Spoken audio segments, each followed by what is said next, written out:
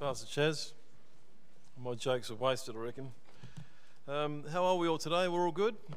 Having a good day? Got all the kids back at Sunday school, which is good, and Bible class and a creche. Um, so come on down.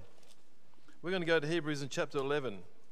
If you're visiting here for the first time or you've been looking to uh, find out whether all this is true, hopefully today this might be your, your day of salvation. Um, if you're at home watching, you've been motivated to watch today, to see and hear already the testimonies of in the chorus time, we're going to give you an opportunity to get baptized too. There's the curtain uh, behind the curtain. There's a baptism tank, and we're going to uh, give you opportunity a little bit later on today, after the communion service, uh, for you to be baptized, and uh, we we can pray with you to receive the Holy Ghost. We can have uh, prayer for you to be healed. Whatever is in your um, corner of your life, we know that God is able to help you out right now today. And I want to talk about faith. So we're going to go to Hebrews in chapter 11, if we can. Hebrews in chapter 11. So, faith. It's an interesting word, isn't it? We don't want to complicate the word faith. Uh, if we have to look it up in the dictionary, that's one thing. Probably to expound it, it means, uh, amongst other things, to have trust. It means to uh, believe, have confidence. The Lord talks about having confidence in the Lord. Uh, faith, right now we're demonstrating it. Every time you sit on a seat, in a, in a natural example, Hebrews in chapter 11 says, Now faith is the substance of things hoped for before you sit down, you want to be confident that your weight is not going to destroy the chair that you're sitting on. and so far, so good. No one's broken through a chair, although it can happen on those plastic ones. So you believe, you trust, and you have confidence that when you sit down, that chair is going to support your weight. And there's the other part for the evidence of things not seen. When you go to your home and you turn the light switch on, you have every expectation that the switch will operate the light and you'll be able to see when you use the remote control. There's, um, you don't know how it works, but you know that it's going to work. You have faith, you have trust, you have belief and confidence is going to work, and you put your music on or whatever you've got to do, your alarm clock, your phone is relying on the whole aspects of faith in application using these things as an example that you might be able to relate it to your life if you're visiting here uh, for the first time. Let's look firstly, we've got that part there. Faith is the substance of things hoped for, evidence of things not seen. So we know that even with this microphone, we know electronically it works, but the mechanisms to make it work and for people to be at home watching from live stream there's an element of faith that's required. There's substance of things hoped for that today, when you turned the computer on at 1.30, that you believed, you trusted and you relied that it was going to be operational. And we know by that red and green light that it is working right now. And there's evidence now that it's working today. And we're looking at our Bibles about faith. We're going to look further afield and look at what God says about faith as well as we go to Deuteronomy in chapter 7. Deuteronomy chapter 7.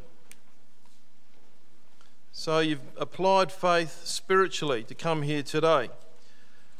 There's uh, a hope that maybe this might be an answer in your life. There is a hope that, that God will accept you, even though you're a sinner. There's a hope that somehow you might walk out here today knowing that God is real because you can't see God. There's no evidence in the sense of your life. So that you've applied faith to come here this afternoon to view and to hear about God's people talking and testifying about the reality of what they know to be true in their life. We heard the two testimonies here already this afternoon and the chorus time of God working in people's lives. Miracle. And I wonder what would happen in the world today. I was just thinking about uh, Brother Andrew there. If there was a, a law that went out to, today saying that from midnight tonight it'll be against the law to baptize people. I wonder how many people would reverse and go, You've got no right to tell me that. And they'd be marching down here because it's their right to be baptized. But because uh, baptism is a free will choice, baptism requires your, your faith too to believe that God is going to meet you in the waters of baptism and in being filled with the Holy Ghost, salvation we call it. That without you living this life, uh, without any aspect or hope of salvation, the Bible declares that we are men most miserable if we don't believe in the resurrection life of, of uh, Jesus Christ or that He's coming back again for His people. If we lived in this auditorium and we didn't believe that Jesus was coming again for his own, it, it, this wouldn't hold us. I wouldn't hold you. And no other preacher, however fanciful their words would be, would not hold you to stay here year in and year out. Something holds us here to come back each week and through the middle of the week, and we go through our week and we talk to people at work, as Tony was mentioning a moment ago. What drives us to be persuaded, convinced, confident and trusting that we know that when we speak about God, we somehow know that God is with us. And when we talk to people, our ears prick up. When we hear of a person who's got a need uh, at work, at school, wherever we might be, we overhear a conversation and immediately we're drawn to a thought the Lord can help that person because we have confidence and faith to know that God works in people's lives. In Deuteronomy chapter 7, it says here to the, in the Old Testament, Know therefore that the Lord thy God, he is God, the faithful God, which keepeth covenant and mercy with them. Deuteronomy chapter 7, verse 9. Covenant and mercy with them that loveth him and keep his commandments to a thousand generations thousand generations, where God is bringing in this thought here today that love and faith work together. And I would like to put a, a question to our brothers and sisters that maybe natural brothers and sisters that have just come in today planet Earth. Um, you're from a natural point of view, you're, we're we're all of the same flesh. We've been made after the similitude of God. If you've come here today with a little bit of faith, and the Bible here says it's mercy and love combined together, faith and love work together with mercy, then if, if Christ says in the New Testament that they that love me keep my commandments, and you've come here today and you want to demonstrate your determination to want to love God, then that starts in the waters of baptism here this afternoon. And if you say no, I don't want to be baptized today, then oh, I got a question I want to put to you. If Christ so loved the God so loved the world that He gave His only begotten Son, that who would believe in Him would not perish but have everlasting life, what wrong has Christ ever done to you? What wrong, what, what horrible thing has Jesus Christ ever done to you that you would not want to be obedient to his calling? What, what horrible thing has he ever said to you that would warrant you to not respect and, and to want to love him and to show some form of faith toward him? What has he done wrong to your soul that you would say, No way am I ever going to get baptized and be filled with the Holy Ghost? When he offers not just faith, he offers mercy, which we need, and He offers His love, His, his, his proof of love that He allowed His Son to die on the cross at Calvary so that you and I could be able to have an opportunity of salvation. And if we say no to being baptized, if we say no to um, anything that He's offering us, we're really saying no to salvation, eternal life, healings, miracles that can happen in our life. And we've got Christ beckoning, saying, Well, give me a chance. Just give me a chance. I'll, I'll prove myself to you if you come to me and say, Faith has helped you here, And maybe it'll get you through to the waters of baptism. And then his love for you will be insurmountable, it's magnificent, it will prove itself to you. He'll fill you with the Holy Ghost, and you walk out of here brand new person. Brand new. Never, never done wrong because the Lord will erase out of your life. All the horrible things that have happened in your life. And that's what we need. We need that in our life. We need salvation. Um, I've been in the fellowship coming up to 40 years. Uh, not one of my members of my family have come along. Uh, they've all been healed. Uh, my brother was unable to have children with his wife, and uh, we there was a, I was at a family do. And my youngest sister, I said before, but those who don't know, I'm from a family of eight brothers and sisters.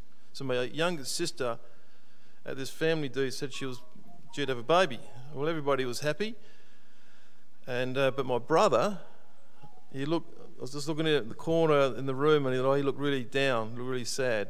So I went to him after and said, "Look, do you mind if my family pray that you might, you and your wife might have a child?" Because they'd gone IVF and hadn't worked, and a whole lot of things had gone wrong. He said, "Oh, thanks." About ten weeks later, he rang up to tell me that his, him and his wife uh, were going to have a child, and he was giving that to the Lord. And then um, they have the baby a little while after that, and he's on the phone telling me the great news. Oh, it's great, James. Fantastic. He's called Luke, my nephew Luke. He might be watching. You never know. Luke, you need to come to the Lord. Anyway, um, so Luke, named after from the Bible, and then he told me that this is now past convers- experience, that he um, they got told that he had lung problems when the baby was born. So he went into the Women's Children's Hospital chapel uh, in North Adelaide. And I said, oh, okay then. And he said, oh, no. And I was sitting there and praying, and then it lobbed in my head. Um, I said to God, well, whatever happened to my sister in law, I want to happen to my son. And I said, my sister in law? And he said, Christine, your wife, when she was healed as a baby. Now, I'd told him that story would have been, uh, Luke's 18. How long have I been going out with you for, hun? 522 years? No. 20 years before that. So 20 years, or whatever, you can calculate it, he just lay dormant in his mind and his heart. But at the appropriate time, that ping, that little seed of faith came alive. And he remembered the miracle of God working in another person's life. And that miracle, um, he's giving over to the Lord. So we don't know. We we're, a, we're a miracle walking people. We walk by faith not by sight. That's what the Lord tells us. And we live faithful lives, as we heard in the testimonies here already. So we live and breathe and emulate faith. It just flows out of us. We don't even feel it, don't even know it, but we do. And people at our work recognize it.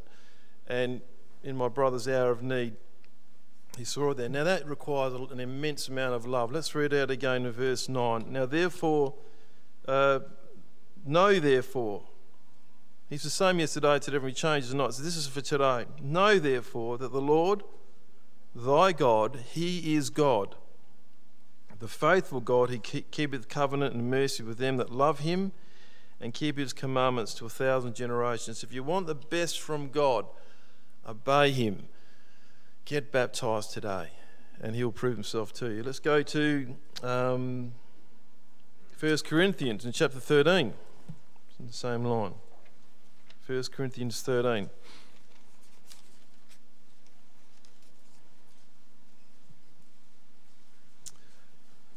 In the New Testament, where Paul writes to the church at Corinth. He's had a great ex- ex- infilling himself, Paul, earlier on, and he's instrumental in establishing the church at Corinth and many other places in that period of his life. And he says here in verse 1 Though I speak with tongues of men and of angels and have not charity, I'm becoming as a sounding brass, a tinkling cymbal. I don't have any clarity. People don't understand what we're about. And though I have the gift of prophecy and understand all mysteries and all knowledge, and though I have all faith, so that I could remove mountains, and have not charity, I am nothing. So, why am I nothing? Because I'm not doing it with that wonderful faith that the Lord's given to me. He wants me to, and us, to use faith mixed with love and mercy in the way that God has demonstrated to the, to the world. Uh, faith on its own, He created the heavens. We, we read in, in Hebrews that He created the heavens, God Himself, and we believe that. But it, we've got God showing to the world His faith and His love and His mercy to mankind through Jesus Christ's life. And Jesus demonstrated time and time again his willingness to bring salvation to people's lives where judgment and all the things that people were trying to catch Jesus out or, or, or, to catch other people out and getting Jesus to be the one that would pass judgment on some horrible thing the woman caught in adultery, for example, that we heard here on Wednesday night with uh, Brendan. And, and we want you, Jesus, to demonstrate that punishment on those people. But Jesus resisted that and gave opportunity of salvation for people in that, in that predicament that they might have been in. So, no matter what is about your life today, or if you're visiting here or watching, we can prove to you that God is real by our testimony. But more importantly, God can prove himself to you personally. And whatever's in your corner, health wise, financial, uh, some people come along, they're morally bankrupt. Some people come along, they have religiously persecuted God's people. And they come along, and the Lord gives them a brand new start. So if that's your desire, if that's the little bit of faith that's in your life here today, that somehow you want to just have a fresh start in life, then today is your day of salvation on one condition allow His love to bring you to the baptism tank. Because when you do that, He'll prove Himself to you time and time again. Let's go to Ephesians in chapter 3. Ephesians in chapter 3. That's why we love talking about the gospel. Um, we love through the week talking to people about God. We love the opportunities that God, every day, Lord, give me an opportunity to talk to someone about you. And, and maybe you forget to do that sometimes, and we, we all do. But if you do do it, it's a lovely prayer that God loves to hear. If you ask God, put me in front of someone that wants to hear the truth, He will do that. Absolutely. And if you have faith to believe that, absolutely that will happen and we will continue to grow as a church because our church needs to be driven by faith. Our church needs to be driven by mercy and love. And if we are individuals that have faith, mercy, and love, that's good. But as a church, we need to have that as well. We need to be at the front foot of revival. And our world today is going through some horrible, horrible things. We don't know if it's the beginning, but it's, it's tough enough as it is. And people are searching for a truth. The, the consumer world has had its day. Consumerism has not brought peace, faith, and love into people's lives. It brought comfort, it's brought them to be in a false sense of security where they can flick the TV on and watch whatever program they so desire in the world. You can watch nature programs and you can look at all the awe and wonderful thing of the creation, go, wow, look at that place, look at that country, look at that animal, look at that, whatever, and be involved at an intricate level of an animal and marvel at the, uh, the photography. And we sit there totally at ease, wonderfully relaxed, but has it brought faith in our life? No, no, it hasn't. It's done the exact opposite. Has it brought forth mercy and love? No, we've just got very comfortable, bigger bigger screens, um, better colour, better technology that you could 3D and oh, it's wonderful, no problem. We can watch sport, whatever your uh, desire is, it's there for you to have. But does it drive you to want to talk to the person who's in desperate need of salvation? No, that doesn't do that at all. Does it drive us to want to go down to pray with someone and to see them healed? No. it probably makes us a little bit uncomfortable in that thought of doing that. And staying home makes us comfortable. When the Lord wants us to be out and about, driven by His, uh, His love that He demonstrated to the world through Jesus Christ. In Ephesians 3, it says here um, that Christ may dwell in your hearts by faith, that you being rooted and grounded in love, may be able to comprehend with all saints what is the breadth and the length and the depth and the height, and to know the love of Christ which passes knowledge, that ye might be filled with all the fullness of God. Now, unto him that is able to do exceedingly abundantly above all that we ask or think, according to the power that works in us. So, these are the sort of things that motivate us to go to our Bibles when we're searching for an answer. I'm just picking on TV because I happen to have it, you know, just got one put in there and, and it's a nice screen and it's easy. I'm not condemning it, I'm not whatever, but I know in me I can watch this movie for two hours and then struggle to pray for 10 minutes sometimes. Are you the same? Who can put their hand up? Please. Mercy. Off with his head. Roman, take him out. Um, so we, we, we uh, are motivated by um, when we go out. Sometimes it's hard.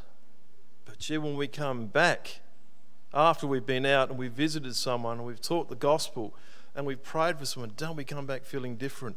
You can go out feeling tired. You come back in, the worst thing is you're awake and it's 10 o'clock at night. It's time for bed, but your eyes, my mind's pinging with the gospel. And that's what God wants us to be about. Not, not to be, not be driven by an emotional high, but to be careful about our hours that we have 168 hours a week, how many days we live. If you live to 80, times it by 365, do yourself a depressing favour. Work out your age, minus it off the 80 years if you're lucky, pre adventure, and you've got that many days left of your life. Halve it because there's eight hours of your day you're asleep and you got work and all that. Reduce it down to the hours that we have to be able to demonstrate what we really like doing, which is talking to people about the Lord. And when we're at work, we respect our bosses, and it's hard to do that, so we're a, we're a living testimony. But to sit down with people and to talk and to show and to share and to show our Bibles, that's what we live for. And that's what God wants to be living for as well, because we're motivated by His love to do that. Let's go to Luke in chapter 17. Luke 17. I can hear the Sunday school back there. Sounds like a better talk, actually, when I hear about them. Luke 17.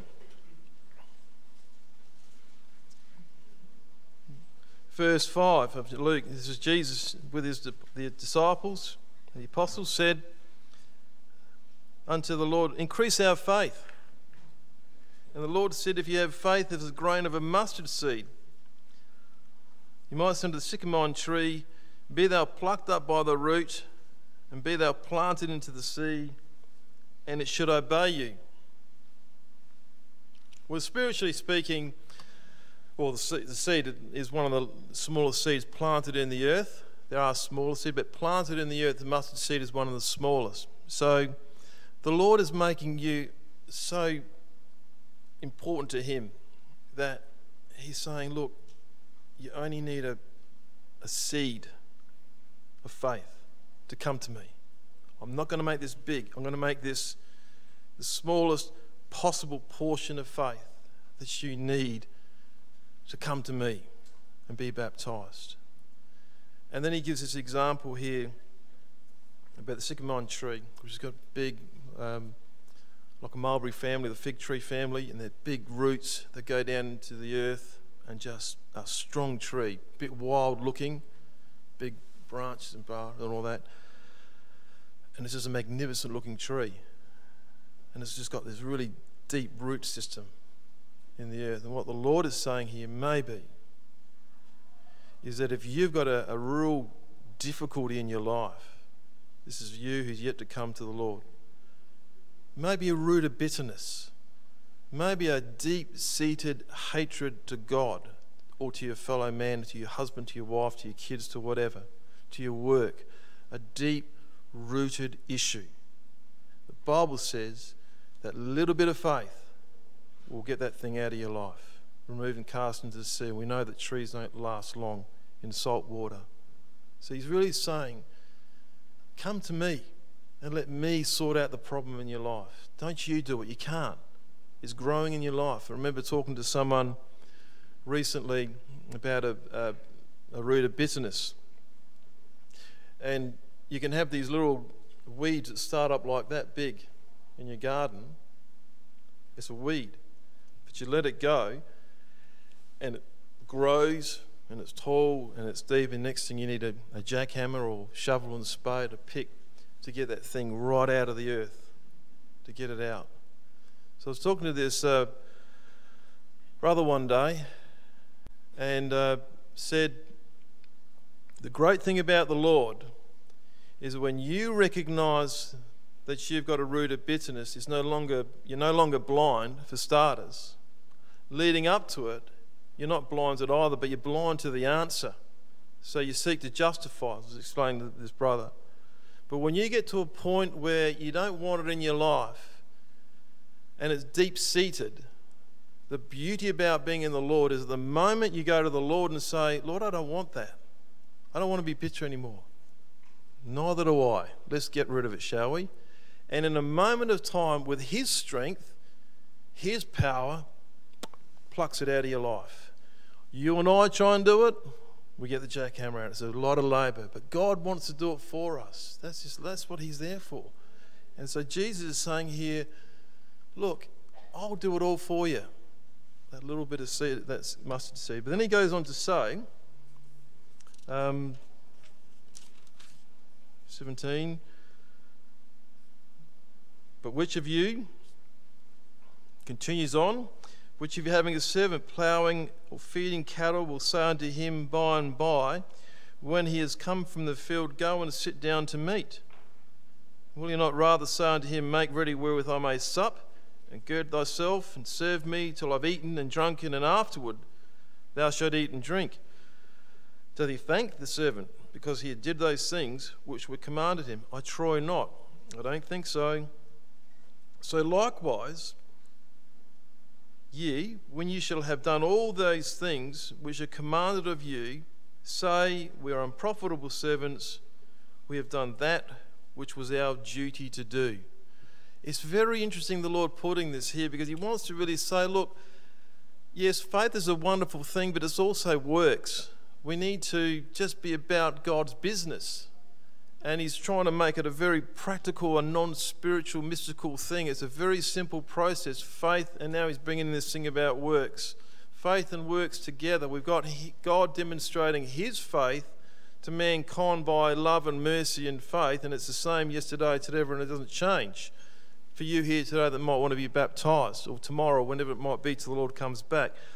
But he's now saying, Lord, help our faith. First of all, he says, What's a mustard seed? But then he goes on to say, But I'm just going to ask you to do what you need to do. Be about my business. And when he says in Luke 18, when the Lord, the Son of Man, comes, will he find faith on the earth? Um, we're told to labour into the kingdom of God and to continually to work as unto the Lord and labour, so that we're not just sitting down, airy fairy faith faith and works together. We can back this up by James in chapter 2 if we can go there. It's very interesting how the Lord put that in. He wanted to bring it down, down a peg to planet Earth so that you and I would understand the concept that faith needs action, working together, stepping out in faith, doing things for the Lord. And he says here, in chapter 2, um, verse 17 Even so, faith, if it has not works, is dead being alone. Yea, a man may say, Thou hast faith, and I have works. Show me thy faith without thy works, and I will show thee my faith by, thy, by my works. Thou believest that there is one God, thou doest well. The devils also believe and tremble. But wilt thou know, O man, that faith without works is dead? So we're told here they work together. They work in, in a good, united way, in unison together in their lives. And as we as a church, we as individuals are asked to work and plough the fields of our life and to create our own little vineyard in our lives. People that, are, that have that are involved in our sphere of life. And what seeds you plant in your own personal vineyard, in your street, in your suburb, in your home, is what God is saying. Well, I'm going to give you the ingredients to do that. I'm going to give you the faith and everything that's required for you to have a beautiful vineyard. But if you don't work the work and do the work that I'm doing with together, then um, we really got to be looking at what God Jesus said there in, in, back in Luke. He's just saying, well, where's the works? What are we doing? We're just sort of sitting there waiting for the Lord to work for us when He actually requires us to do things. When I came to the Lord, before I came to the Lord, I was unemployable. Involved in drugs for a number of years. And um, I was living down at Blewitt Springs. I should have bought the land, but I, I got offered the land. Now it's worth a lot, so I'm one of those things in life. and there was two houses uh, in Blue, Moritz Road, beautiful old, still there, went past the other day when we looked Douglas Scrub. Two houses on this hill overlooking this vineyard. So I came along to the Lord. Um, then within a fortnight, the uh, landowner, DeFabio's down there at McLaren Vale, said, Oh, we're, we want the land back. So the two houses. I was living with Pastor Laurie Nankiville's brother, Rick. Rick mentioned his brother Steve and his sister, I think Vicky. Never once mentioned Pastor Laurie. Laurie didn't exist. Why? Because Pastor Laurie was a Christian. It was only when I came to the Lord at the Easter camp of the year that I came along to the Lord, Pastor Laurie came up. Oh, I could see straight away. He looked like his brother. And I didn't have the heart to say, well, your brother never mentioned you, but I, I just knew. I know why I never met you because you're a Christian. It's embarrassed sort of stuff. So we'll get moved out, and uh, I end up moving down, moving down to Thebarton, the Barton, with a whole lot of brothers there. And um, next thing, get a job. Before that, the oversight, don't worry about it, Chris, you're just coming along. I came along to the Lord and it was like, get a job, you lazy, you know, sort of thing. Get a job and tithe while you're at it. So I came along and uh, we were taught to be industrious, not just to be faithful, hallelujah, boys. And we were told you be a testimony at work. Don't preach in your work hours. Be a living testimony, talk in your lunch break and all that sort of stuff. But talk about the gospel. And so before I got the job, um, this brother said, showed me this scripture. And he said, You've got to work. So, what does that mean? You know, how dare you abuse me? Anyway, um, get a get a job, tithe to your church if you believe in it. So, oh, whatever. So then the next day, he says You've got to prove yourself to God. If you've prayed about it, you've got to prove yourself to God. And he showed me the scripture: faith without works is dead. So I said, what do I got to do? So we got to get out in the street. So I packed my bag, rucksack bag with food, and I walked the streets of Adelaide for three days, banging on doors. I got abused, I got helped, people were kind, people were unkind. At the end of that third day, the brother said, Well, you've proved yourself to God now. Now read your Bible for the next couple of days because you're going to get a job. You, want, you won't have time to read your Bible when you're working. By the Friday, I had a job, or by the Monday, I had a job. I went to London with the same principle oh, I'm going to try that again. I walked the streets of London. Let me take you by the hand. Sorry, song. and lead you through the streets of London. You know that one? Well, I didn't sing it, but I walked it. And uh, within three days, did the same thing. The third day, I got ran off sites and all that. And then on the th- fourth day, the Thursday, I said, right, okay, God, I've proved my works. By the Monday, I had a job. So faith without works is dead. If you're looking for a job, get out on the street and door knock, ring up. If you're looking for fi- finances, tithe. It works. Faith without works is dead. Prove yourself to be a true servant of God by your works, and, and knowing that on God's side, He's demonstrating time and time again what He's prepared to do in your life. If you want salvation today, I'm going to show you right now how you can do it. We're going to Acts chapter 2, verse 38 to finish on. Acts chapter 2, verse 38. This is your bit. You're here today in faith, in works, but you don't have to stop it here at the seat. Will you get up? It's okay, Rob and Phil, you can. You've been baptized many, many years ago. I remember when Rob got baptized. Is that right, Rob?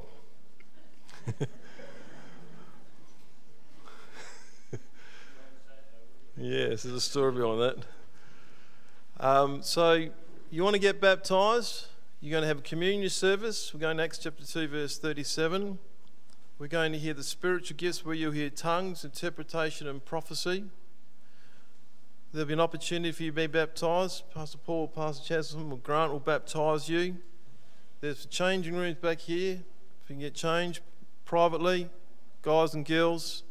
There'll be people to help you. You give your privacy, whatever you need there. We'll do everything we can to make it easy for you to get baptized. And Christ, on top of that, has said, Have you got a mustard seed of faith today? Is your faith a mustard seed? Then you're ready to be baptized. Allow the Lord to show his love to you by being baptized. Let him show you of his love and mercy in your life. You'll walk out here a completely different person, but you've got to walk in faith, do the actions, and let the Lord prove himself to you. In Acts chapter 2, verse 37, he says here, Now when they were pricked in their hearts, they said unto Peter and to the rest of the apostles, Men and brethren, what shall we do? Then Peter said unto them, Repent and be baptized, every one of you, in the name of Jesus Christ, for the remission of sins, and ye shall receive the gift of the Holy Ghost. For the promise is unto you, to your children, thousand generations, he said in the Old Testament, to all that are far off, even as many as the Lord our God shall call. And with many other words did he testify and exhort, saying, Save yourself from this untoward generation. And they that gladly received his word were baptized, and the same day added unto about 3,000 souls. Today, save yourself from this untoward generation, but more importantly, find salvation and let God's love and mercy and truth and all the wonderful things that He's got installed for your life let him show up to you today because he will. And all the people said, let's it there. Praise the Lord. I'll hand over to Grant.